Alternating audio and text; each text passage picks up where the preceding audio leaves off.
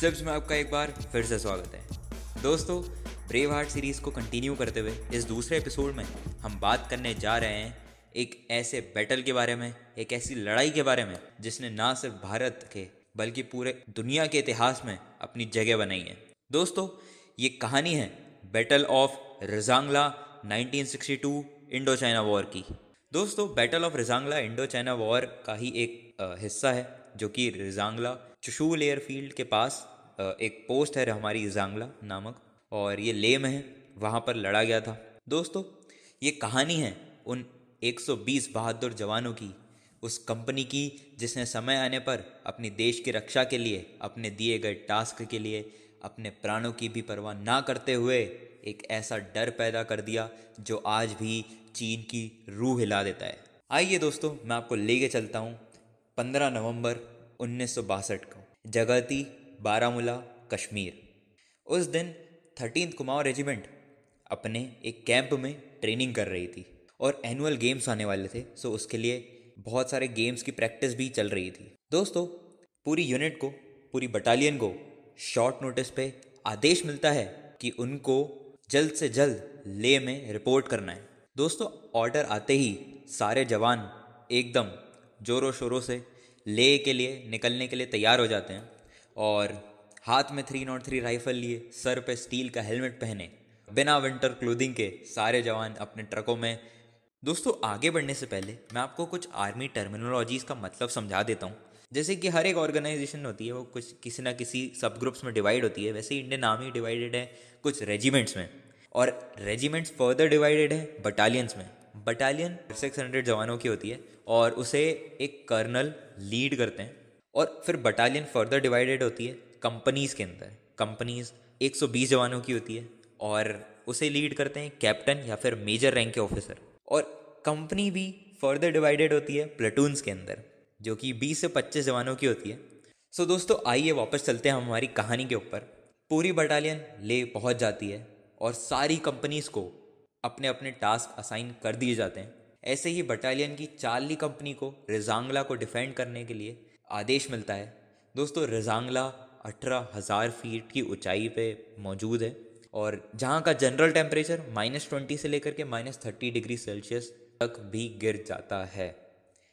सो so, आप सोच सकते हैं खतरनाक कंडीशंस में हमारे जवानों को वो टास्क असाइन हुआ और उन्हें वो पॉइंट डिफेंड करके रखना था। सो so, दोस्तों चार्ली कंपनी निकल पड़ती है रिजांगला के लिए। चार्ली कंपनी के पास अपना जो कंपनी कमांडर है वो मौजूद नहीं रहता है। तो तब तक के लिए एक सीनियर जेसीओ साहब जो रहे हैं वो लीड करते हैं कंपनी को, जिनको 20 से 25 साल का एक्सपीरियंस होता है और वो लड़ाई के लिए एकदम फिट होते हैं। और उधर कुमाऊं रेजिमेंटल हेडक्वार्टर जो कि रानी खेत में है, वहाँ पर क्वार्टर मास्टर की ड्यूटी कर रहे मेजर शैतान सिंह भाटी को ऑर्डर्स मिलते हैं कि वो जल्द से जल्द अपनी यूनिट जो कि तेरह कुमाऊँ हैं, वहाँ पर पहुँचे ले में और रिपोर्ट करें और अपनी कंपनी की कमांड संभालें, जो कि रजांगला के लिए निकल चुकी है। दोस्तों, अगले ही दिन मेजर शैतान सिंह भाटी वहाँ पर पहुँच जाते हैं। मेजर शैतान सिंह भाटी वहाँ पर पहुँच सबसे पहले जवानों को इकट्ठा करते हैं और जवानों की ब्रीफिंग करते हैं। और ब्रीफिंग करते हुए कहते हैं कि अरुणाचल प्रदेश में हमारी हालत बहुत बुरी हो चुकी है, क्योंकि चाइना वहाँ बहुत ज़्यादा आगे बढ़ चुका है और हमें और हमारी इस कंपनी को ये टास्क असाइन हुआ है।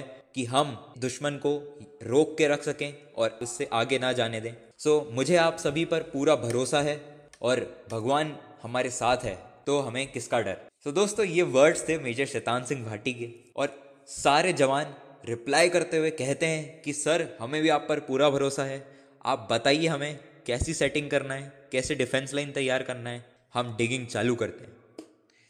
दोस्तों आप सोच सकते हैं उस ऊंचाई पर डिगिंग करना, अपना एक डिफेंस लाइन तैयार करना, हमारे पास ठीक से विंटर क्लोथिंग भी नहीं थी। उस समय डिगिंग करना, यानी एक तरीके से 50 किलोमीटर की मैराथन दौड़ना है, वहाँ पर उस ऊंचाई पर आपका जो विंड पाइप है, वो जलने लग जाता है।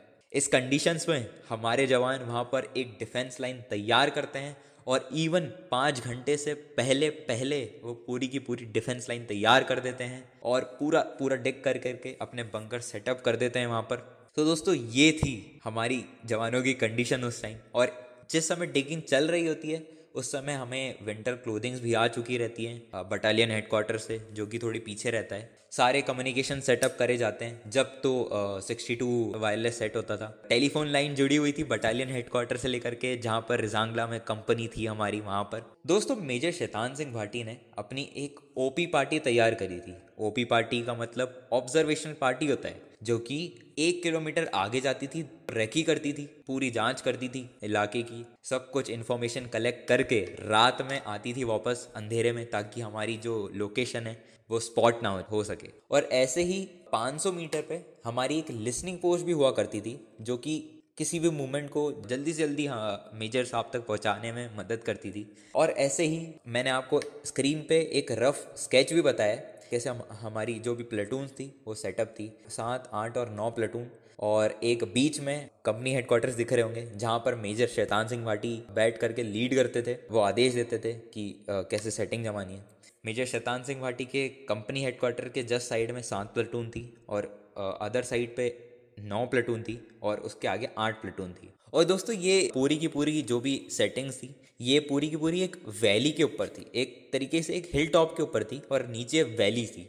और आपको आगे दिख भी रहा होगा, आगे एक एल पी और ओ पी भी बनी हुई है। एल पी का मतलब लिसनिंग पोस्ट और ओ का मतलब मैंने बताई दिया ऑब्जर्वेशनल पार्टी या फिर ऑब्जर्वेशनल पोस्ट भी बोल सकते हैं आप उसे। ये थी दोस्तों हमारी सेटिंग कैसे हमने वहाँ पर डिफेंस लाइन तैयार करी हुई थी। जस्ट कंपनी हेडक्वार्टर्स और नौ प्लेटून के बीच में थोड़ी सी पीछे शेल्टर हुआ करते थे कुक हाउस हुआ करता था। वहीं पे हमारे जवान जो थे, वो राशन पानी से खाना बनाया करते थे। दोस्तों, बात है सत्रह नवंबर सुबह की।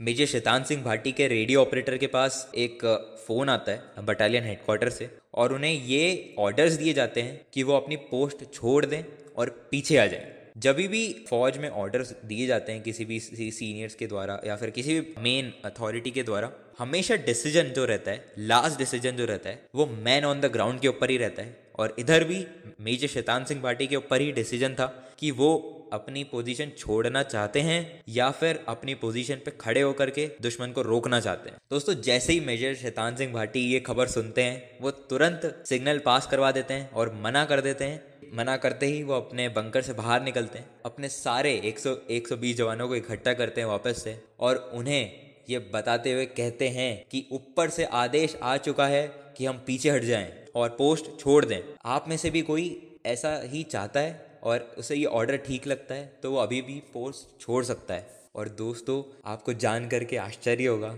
एक भी जवान, एक भी जवान किसी ने भी हाँ नहीं करी पोस्ट छोड़ने की। सबने कहा कि साहब, हम एक इंच भी पीछे नहीं हटेंगे।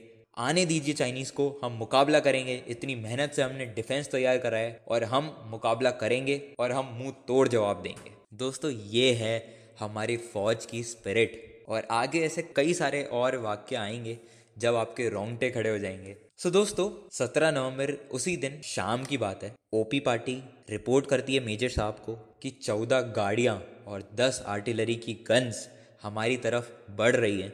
मेजर शैतान सिंह भाटी मन में सोचते हैं कि ओके, समय आ चुका है और लगभग रात के साढ़े तीन बज चुके होते हैं और आठ प्लेटून के नीचे वाली एक लिसनिंग पोस्ट एलपी एलपी से एक एलएमजी का बर्स्ट जो कि 25 से 30 गोलियों का था, वो एकदम से सुनाई पड़ता है और सबकी नींद खुल जाती है क्योंकि पहाड़ के अंदर रिवर्बरेशन होता है, आवाज़ें गूंजती हैं।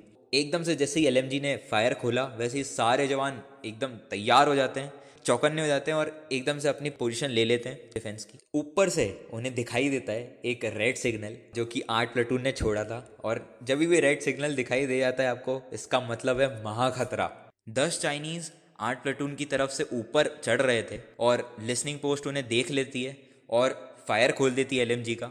सात से आठ वहीं पर मर जाते हैं और गिर जाते हैं और तीन से चार भाग निकलते हैं। मेजर साहब लिसनिंग पोस्ट को जल्द से जल्द पीछे आने का आदेश देते हैं और इतने में सात प्लाटून से रिपोर्ट आ जाती है कि 500 की नफरी में चाइनीज़ उनकी तरफ़ बढ़ रहे हैं। मेजर साहब बोलते हैं कि बेटा पास आने देना और फिर मारना। जो जेसीओ साहब वहाँ पर लीड कर रहे थे सात प्लाटून को, वो कहते हैं, आप साहब, आप बिल्कुल टेंशन मत लीजिए, आप सो जाइए, हम मारेंगे इनको। और 300 गज की दूरी पर आते ही सात प्लाटून की दो एलएमजी और नौ प्लेटून की तीन LMG light machine gun code name मैना सुनते ही फायर खोल देती है बिना बिना परवाह किए फायर खोल देती है इसे क्रॉस में। ज़्यादा से ज़्यादा चाइनीज़ मार गिराती है और जितने बचे थे वो पीछे भाग जाते हैं वापस से।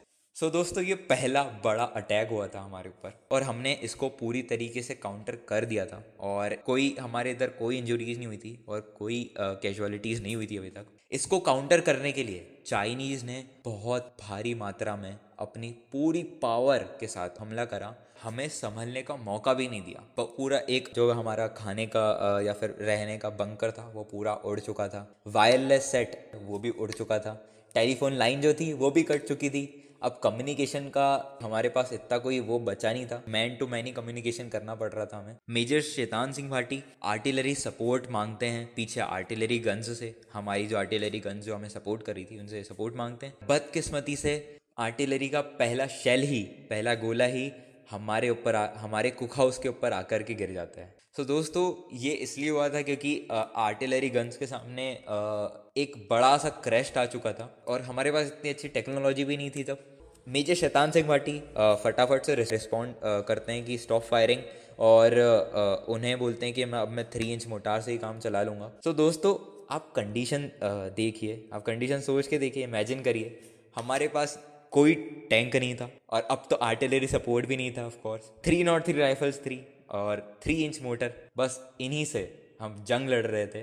वो भी चाइनीज़ से, जिनके पास उस समय के बेस्ट विंटर क्लोथिंग इतना मोटा उनका कोट हुआ करता था विंटर क्लोथिंग का, जिससे आप बैनेट मारोगे, आप चाकू मारोगे तो चाकू भी अंदर नहीं जाएगा। इतना मोटा कोट हुआ करता था उनके पास उनके पास हाई लेवल की मशीन गन्स हुआ करती थी और उनके पास बहुत अच्छी राइफल्स हुआ करती थी बेस्ट हेलमेट्स हम उनसे मुकाबला कर रहे थे और ये हमारी कंडीशन थी। इतने में आठ प्लेटून से सिग्नल आता है कि उनके सामने भी 500 की नफरी में चाइनीज़ हमला करने वाले हैं और वैसा ही हुआ जैसे कि सात प्लाटून के साथ हुआ था। वो भी पास आने देते हैं। इस बार 200 गज तक की दूरी पर आने देते हैं और सब फायर खोल देते हैं। आठ प्लाटून की सारी एल फायर खोलती हैं। नौ प्लाटून की सारी एल फायर खोलती है और उनको एकदम क्रॉस में मार आ, मार गिराती हैं। और बहुत सारे बहुत सारे चाइनीज़ कैजुअलिटी हुए। बाकी जितने बचे वो सेम पीछे भाग जाते हैं। इतने में वो जो पीछे, पिछली बार भारी फायर जो आया था, इतने में मेजर शैतान सिंह भाटी के लेफ़्ट आर्म के ऊपर एक बहुत गहरी चोट लग चुकी थी। और जैसे ही उनके रेडियो ऑपरेटर उन्हें पट्टी करने गए, उन्होंने पट्टी करने से मना कर दिया। उन्होंने लगा, अरे, ये सब तो होता रहता है। और उन्होंने बोला, अभी ये ज़्यादा ज़रूरी नहीं है, ज़्यादा ज़रूरी दुश्मन को रोकना है। तो अभी हम उस पर ध्यान देंगे। ऐसे ही सात प्लाटून से वापस खबर आती है कि उनके सामने से वापस 500 की नफरी में दुश्मन दुश्मन हमला करने वाले हैं। सेम वही होता है। पूरी की पूरी L M G L M Gs उनकी तरफ़ मोड़ी जाती है। नौ प्लेटून फायर करती है कब पास आने दिया जाता है और मारा जाता है। इस बार ये चौथा हमला था। इधर भी इंजरीज बहुत सारी हुई थी। फिर इसके बाद दोस्तों, उस समय हमारी जो बैरल्स थी एल एम जीज की वो पूरी की पूरी लाल हो चुकी थी। आप सोच सकते हैं minus twenty three degree Celsius के टेम्परेचर पर जहाँ पर बर्फ़ पड़ी हुई है आठ आठ फीट वहाँ पर बैरल पूरी की पूरी लाल हो चुकी है फायर करते हुए। आप सोच रहे होंगे किस किस लेवल की इंटेंसिटी से हम फायर कर रहे थे जब? फिर थोड़ी देर के लिए थम जाती है चीज़ें और इतने में आ, मेजर साहब बोलते हैं कि सबसे पूछो कि सब ठीक है कि नहीं कोई कैजुअलिटी तो नहीं हुई है। आ, और कोई भी कोई भी जवाब ये नहीं देता है कि साहब हमें लगी है हमें लगी है। नहीं सब जो भी रहता है पूरी इंजरीज खोलते कह रही साहब कुछ नहीं हुआ है हम लड़ सकते हैं बिल्कुल लड़ेंगे। और इतने में मेजर साहब को तीन गुल तीन गोलियाँ लग चुकी थी पर उन्होंने भी आ, ये फ़र्स्ट एड वगैरह कुछ भी लेने से मना कर दिया था। मेजर शैतान सिंह भाटी के रेडियो ऑपरेटर रामचंद्र जी नी पीछे देखते अपने और उनके पीछे हिल थी हिल की रिजलाइन थी जिससे जिससे वही दो दिन पहले चढ़ करके आए हुए थे। पूरी कंपनी वहीं से चढ़ करके आई थी रेज लाइन से ही जहाँ पर अभी पोस्ट है रजांगला की तो वो वहाँ पर देखते हैं। उन्हें कुछ लाइक धुंधली पूरे क्योंकि आपको मालूम है स्नो का इलाका है। स्नोफॉल हो हो रही थी बहुत ही धीमी धीमी और बहुत तेज़ हवा चल रही है। तो उन्हें दिखता है कुछ लाइक ऐसे आदमी खड़े हुए दिखते हैं। तो उन्हें सबसे पहले लगता है कि री आ गई हमारे लिए। पर जब वो आ, मेजर शैतान सिंह भाटी को ये बताते हैं तो मेजर शैतान सिंह भाटी अपने बाइनाकुलर्स लेते हैं और देखते हैं तो उन्हें याक्स दिखती है और चाइनीज़ सोल्जर दिखते हैं और वो बोलते हैं, अरे रामचंद्र, ये तो चाइनीज़ हैं। पीछे से भी आ गए हम और कुछ 800 की नफरी में 800 की स्ट्रेंथ में पूरी रिज लाइन को कवर करते हुए, याक से, घोड़ों से और एलएमजी लिए हुए, चारों साइड से हमें उन्होंने घेर लिया था। मेजर शैतान सिंह भाटी आदेश देते हैं, पूरी मोटार्स को उधर घुमाते हैं, कहते हैं 80 डिग्री पे बिना परवाह किए 10 राउंड फायर। दोस्तों 80 डिग्री कितने ज़्यादा हाई ग्राउंड पे पहुँच चुके थे अब तक चाइनीज़ आप सोच, सोचिए। 80 डिग्री, एकदम खड़े ही हो गया। लगभग 500 गज की दूरी थी। हमने हैवी फायरिंग हमारा पूरा फायर खोला और उन्हें संभलने का मौका नहीं दिया। कुछ चाइनीज़ पीछे के पीछे वापस भाग गए और बहुत सारे मारे भी गए। तो इस समय चार मशीन गन्स और एक आरसीएल लगाने में कामयाब हो चुके थे। फायर करने लगे थे वापस से वापस से काउंटर फायर करने लगे थे। मेजर शैतान सिंह भाटी को और ज़्यादा गोलियाँ लग चुकी थी क्योंकि पूरे का पूरा फायर पीछे से आया था एकदम से और सबके ऊपर आया था और सबसे ज़्यादा ऑफकोर्स जो उनका कंपनी हेडक्वार्टर है, वहीं पर सबसे ज़्यादा आया था फायर उन्होंने उन्होंने रामचंद्र जी को आदेश दिया कि मेरी राइफ़ल दे और उनकी थ्री नॉट थ्री राइफ़ल उन्होंने ला करके दी और उन्होंने एक मशीन गन जो उनकी तरफ़ फायर कर रही थी उसको ख़त्म कर दिया। वो दूसरी मशीन गन को जो चला रहा था बंदा, उसे मारने जा ही रहे थे, आगे बढ़ ही रहे थे कि रामचंद्र जी पीछे से बोलते हैं कि, साहब, डग नीचे झुकी है पर ये फायरिंग के साउंड में उन्हें सुनाई नहीं देता है और उनको एक पूरा का पूरा मशीन मशीन गन का बर्स्ट आता है और उनके पेट में ऐसा लग जाता है। ऐसे के ऐसे नीचे गिर जाते हैं। जैसे ही वो नीचे गिर जाते हैं, वैसे ही रामचंद्र जी दौड़ करके उनके पास जाते हैं और मेजर शैतान सिंह भाटी बोलते हैं उन्हें कि यार रामचंद्र, पेट में बहुत दर्द हो रहा है यार। ये बोलते ही रामचंद्र जी उनके कोट पार का है, वो उसको हटाते हैं, हाथ डाल करके देखते हैं। उन्हें ये दिखता है कि पूरा का पूरा पेट फट चुका है। और बेल्ट से, बेल्ट के पास से आते जो हैं, पेट की आते जो हैं, वो बाहर आ रही हैं। और वो मेजर शैतान सिंह भाटी फिर भी उन्हें बोलते हैं कि अच्छा चल, ये सब छोड़ और सुन। सात प्लेटून को उधर से लेके आ, आठ प्लेटून को ऊपर बुला, नौ प्लेटून को मोड़ और इनको हम बीच में मारेंगे। पूरा का पूरा उन्हें प्लान बता देते हैं कि आगे क्या क्या करना है उन्हें। और जैसे ही उनको ये बर्स्ट लग, लगता है मशीन गन का, उनका जो खुद का अमोनेशन जो उन्होंने पहना हुआ रहता है, वो भी उनके पेट के अंदर जा चुका रहता है। तो आप सोचिए कितना लाइक कितना ज़्यादा कितना ज़्यादा हार्मफुल होगा वो बर्स्ट उनको जो लगा था। ये बोलते हैं वो, चल, ये सब करने का टाइम नहीं है, मेरे को मेरी राइफल दे, मैं और फायर करूँगा। फायर अपने आखिरी मोमेंट तक वो फायर करते ही रहते हैं, उनका हाथ ट्रिगर के ऊपर ही होता है। रामचंद्र साहब, जिनकी उम्र 20 से 25 साल रहती है, वो अपने मन में ये सोचते हैं, यार, कैसा कमांडर है हमारा, जो कि उसका आखिरी समय आ चुका है, मरने की हालत में है और फिर भी अभी तक फायर कर रहा है और हमें आदेश दे रहा है प्लान बता रहा है कि आगे क्या क्या करना है। किसी और चीज़ के बारे में ये सोच नहीं रहा कि यार मेरे घर पे ये बोल देना, मेरे माँ बाप को ये बता देना, उनका बेटा नहीं आ पाया, ऐसा कुछ भी नहीं। अपने टास्क के ऊपर अभी भी वो बोलते हैं कि भगवान से कम नहीं है। He is like really a god इतने में इतने में एक जेसीओ साहब जो रहते हैं साइड में, वो रामचंद्र को बुलाते हैं और उन्हें बोलते हैं कि रामचंद्र सुन, मेजर साहब की जो बॉडी है, वो चाइनीज़ के हाथ में नहीं आना चाहिए। रामचंद्र जी वापस उन्हें जवाब देते हैं कि जब तक मैं ज़िंदा हूँ, मेजर साहब की बॉडी को कोई हाथ भी नहीं लगा सकता। इतने में रामचंद्र जी पीछे देखते हैं और सात प्लटून की, सात प्लटून जो होती है, उसकी दोनों साइड से लाइक साइड में से राइट लेफ़्ट साइड से ऊपर आ चुके, ऊपर आ रहे होते हैं चाइनीज़ और वो जो सात प्लटून रहती है अम्यूनेशन ख़त्म हो जाता है उनका, बिल्कुल। फिर वो पूरी की पूरी सात प्लटून नीचे कूद जाती है, उनका जो वॉर कराया रहता है, बोल राधा कृष्ण की जय। ये जय बोलते ही पूरी की पूरी प्लेटून जो रहती है, वो नीचे कूद जाती है, अपने बैनट लेके। बैनट मारने लग जाती है चाइनीज़ को। बैनेट यानी एक राइफल के आगे एक चाकू टाइप होता है, उसे बैनेट कहते हैं। मैंने आपको जैसे बताया था चाइनीज़ जो सोल्जर्स थे उनका, उनके जो कोट था, या फिर जो उनकी विंटर क्लोथिंग थी, वो इतनी ज़्यादा मोटी थी कि बैनेट के जो चाकू थे, वो अंदर ही नहीं जा रहे थे। तो हमारे हमारे सोल्जर्स ने राइफल को फेंका और हाथ से मारने लगे। एक एक सरदार जी थे, वो लड़ रहे थे और उन्होंने ऐसे दोनों हाथ में एक चाइनीज़ को ले रखा था। एक चाइनीज़ सोल्जर का इधर मुँह था, एक चाइनीज़ सोल्जर का इधर मुँह था और उनको ऐसे पत्थर में मारा और पाँच मिनट के बाद एक भी आवाज़ नहीं आती है किसी भी जवान की उधर से। पच्चीस के पच्चीस जवान वीर गति को प्राप्त होते हैं और किसी की एक आवाज़ नहीं आती। सब कुछ खत्म। पूरी की पूरी प्लाटून साफ़ हो चुकी रहती है। रामचंद्र साहब मेजर शैतान सिंह की बॉडी को उठाते हैं और एक बड़े से पत्थर के पीछे रख देते हैं और उधर बर्फ़ से उनकी बॉडी को ढक देते हैं ताकि किसी को दिखे नहीं। और उनकी नज़र जाती है घड़ी के ऊपर, मेजर शैतान सिंह जी की घड़ी के ऊपर जाती है उनकी नज़र, और वो टाइम देखते हैं तो सुबह के सवा आठ बज रहे होते हैं, और सवा आठ, दोस्तों ये वही टाइम है जब चाइना ने हमारी रिजांगला की पोस्ट के ऊपर पूरा कब्जा कर लिया था, और जितने भी जवान बचे थे वहाँ पर ज़िंदा, उन्हें प्रिजनर ऑफ़ वॉर बना लिया गया। रामचंद्र साहब जो थे, उन्होंने सोचा कि रोज़ नीचे से बटालियन हेडक्वार्टर से राशन आता था जीप के थ्रू और एक जवान लेके आता था। तो उन्होंने सोचा कि हमें कैसे भी करके उस जवान तक पहुँच जाऊँ तो हम पीछे से री ला सकते हैं, वापस से हम कार्रवाई कर सकते हैं आगे की। वो वैसे ही करते हैं। जैसे ही वो जाते हैं तो उन्हें वो जीप दिखती है, उन्हें खुद जवान दिखते हैं उनके। वो उन्हें बोलते हैं कि जल्दी जल्दी बैठ, और वो बिल्कुल लाइक बोलने नहीं देते हैं रामचंद्र जी को। और वो जल्दी से लेके जाते हैं अपने बटालियन हेडक्वार्टर उन्हें।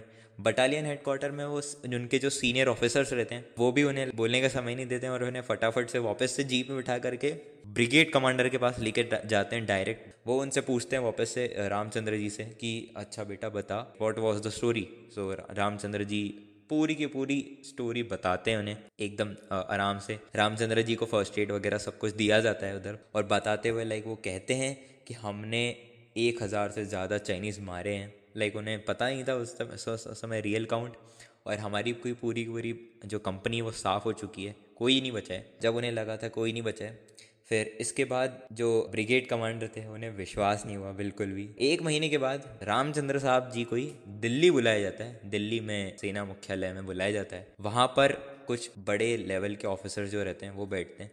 वो बैठे होते हैं, एक कर्नल रैंक के ऑफिसर भी रहते हैं, एक मेजर जनरल रैंक के ऑफिसर भी रहते हैं और ऐसे ही बड़े बड़े ऑफिसर प्रेजेंट रहते हैं वहाँ पर। रामचंद्र जी पूरी की पूरी स्टोरी वापस बताते हैं वहाँ पर सभी को। बताते हुए वो ये भी ज़िक्र करते हैं कि हमने एक हज़ार से ज़्यादा चाइनीज़ मारे हैं और हमारी की पूरी की पूरी जो कंपनी है, वो साफ़ हो चुकी है। ये बात पर एक ऑफिसर जो रहते हैं, उन्हें विश्वास बिल्कुल नहीं होता है और वो उन्हें चिल्ला देते हैं, रामचंद्र जी को चिल्ला देते हैं कि, जवान, क्या बोल रहा है तू? मैं तेरा है कोर्ट मार्शल करा दूँगा। रामचंद्र जी जवाब देते हुए कहते हैं कि साहब, मैंने लड़ाई लड़ी है, आप मेरा कोर्ट मार्शल नहीं करा सकते हैं। और अगर आपको विश्वास नहीं हो रहा तो आप जा कर के देख लीजिए, उस पत्थर के नीचे मेजर साहब की बॉडी पड़ी हुई होगी। अगर बॉडी कोई ले गया होगा तो उनका खून होगा। ये घड़ी भी उनकी है और जो मैंने जमा करा दी है तो मैं झूठ नहीं बोल रहा हूँ। दोस्तों, जब वहाँ पर टीम पहुँची तो असल में ये पाया गया कि हमने 1300 चाइनीज़ मार गिराए हैं और हमारे 114 जवान वीर गति को प्राप्त हुए हैं। उन 120 जवानों ने, उस कंपनी ने 1300 चाइनीज़ मार गिराए। आप सोच सकते हैं दोस्तों, आपको जानकर भी आश्चर्य हो रहा होगा। और ऐसे ही दो दिन के बाद जो चाइना था, वो भी सीज फायर डिक्लेयर कर देता है। और मेजर शैतान सिंह भाटी जी को मरणोपरांत पोस्टमसली परमवीर चक्र से सम्मानित किया जाता है। उस कंपनी को, जो चार्ली कंपनी थी thirteen battalion the Kumaon regiment की, उसे ऑनर देते हुए उस कंपनी का नाम चेंज करके रिजांगला कंपनी कर दिया जाता है। दोस्तों, इस लड़ाई के बाद चाइना के चाइना पे इतना गहरा असर पड़ा कि उन्होंने अपना एडवांस पूरा का पूरा रोक दिया था उस लड़ाई के ऊपर, क्योंकि जिसके ऊपर इतना ज़्यादा, इतना बड़ा इम्पैक्ट हुआ हो, जिसके 1300 जवान मारे गए हों एक ही लड़ाई में, बिल्कुल हिल जाता है वो अपोनेंट आपका। और उन्होंने लाइक एडवांस पूरा का पूरा स्टॉप कर दिया। कहीं पर भी नहीं इवन अरुणाचल प्रदेश में वो पीछे हटने लग गए। जितना उन्होंने कब्जाया भी था, वो भी वो भी वापिस पीछे हटने लग गए। और दो दिन के बाद 20 नवंबर को असली में सीज फायर डिक्लेयर कर दिया गया चाइना की तरफ़ से। तो दोस्तों, ये सीज फायर डिक्लेयर करने का असली रीज़न तो आपको मालूम पड़ ही चुका होगा। उसी के ऊपर ये पूरी की पूरी वीडियो अभी तक बेस थी और चाइना पूरी तरीके से टूट चुका था। दोस्तों, आप अनुमान लगा सकते हैं, आप इमेजिन कर सकते हैं कि क्या कंडीशन रही होगी हमारे उन 120 जवानों की, जिनके सामने तीन हज़ार चाइनीज़ सोल्जर्स थे, जो कि उन्हें पहले से मालूम था कि वो बचने नहीं वाले हैं। फिर भी उन्होंने चूज़ करा लड़ना, क्योंकि वही एक फौजी स्पिरिट डिमांड करती है। दोस्तों मेजर शैतान सिंह भाटी की उस एग्जाम्पलरी लीडरशिप की बात करें, उसको डिस्क्राइब करने के लिए करेज ब्रेवरी ऐसे कई सारे जो भी, जितने भी शब्द हैं, सब कुछ लाइक बहुत छोटे हैं। और मैं आपको एक बात बता देना चाहता हूँ, भले ही मेजर शैतान सिंह भाटी वीर गति को प्राप्त हो चुके थे 18 नवंबर को 1962 को, पर आज तक उनकी जो आग है उनमें जो आग थी, उनकी जो स्पिरिट है, वो आज भी हर एक हर एक जवान, भारतीय सेना के हर एक जवान के अंदर आज भी ज़िंदा है और हमेशा ज़िंदा रहेगी। और इस मातृभूमि पर हमें गर्व है कि जिसने मेजर शैतान सिंह भाटी जैसे शूरवीरों को जन्म दिया है, जिन्होंने भारत भारत को सारे देशों से डिफरेंट बनाया है। पूरी दुनिया के इतिहास में भारत को एक अनोखी जगह दिलाई है। ऐसा ही लाइक उसका एक एग्ज़ाम्पल ये बैटल भी था बैटल ऑफ़ रेजांगला और दोस्तों, क्यों ना हम अपने देश के इन शूरवीरों की जो वीर गाथाएँ हैं, सबको पहुंचाएँ और ऐसा एक भारत बनाएँ जहाँ पर छोटे छोटे बच्चों की किताबों में मेजर शैतान सिंह भाटी और ऐसे कई सारे शूरवीरों की गाथाएँ हों लाइक उनके कोर्स में ये कंपलसरी कर दी जाएँ, ताकि छोटे बच्चे ही इंस्पिरेशन ले सकें और वो सोच सकें कि जब इस लेवल पे ऐसा कोई कर सकता है तो वो क्यों नहीं कर सकता। इसी के साथ आखिर में बस मैं इतना ही कहना चाहूँगा। जूते फटे पहनकर आकाश पे चढ़े थे। जूते फटे पहनकर आकाश पे चढ़े थे। सपने हमारे हरदम औकात से बड़े थे। सर काटने से पहले दुश्मन ने सर झुकाया। सर काटने से पहले दुश्मन ने सर झुकाया। जब देखा उसने हमें, निहत्ते मैदान में खड़े थे। दोस्तों, पूछिएगा अपने आप से एक सवाल, जो आज़ादी की कीमत हमारे जवान चुका रहे हैं बॉर्डर पर रोज़ अपनी जानों से। क्या हम उस कीमत के काबिल हैं? इसी के साथ आज का ये वीडियो ख़त्म करना चाहूँगा। आपने मुझे इतना समय दिया, उसके लिए धन्यवाद। जय हिंद, जय भारत, हर काम, देश के नाम।